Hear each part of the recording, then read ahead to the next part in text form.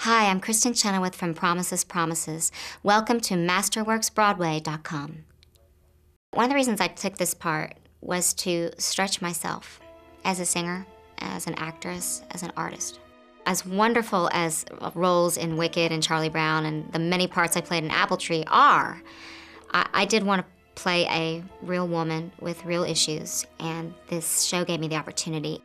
The first week of rehearsals, we're adding um, House is Not a Home and Say a Little Prayer, and I think it really rounds the character out. A chair is still a chair, even when there's no one sitting there. It starts out, a chair is still a chair, even when there's no one sitting there.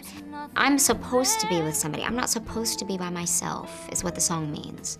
And I think Mr. David in particular really knows how to say it without saying it.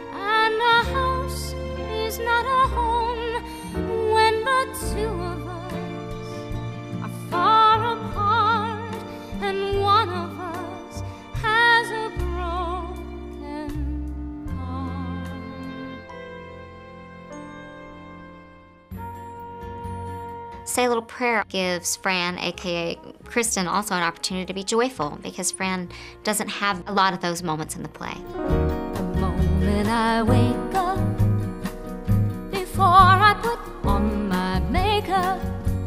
I say a little prayer for you.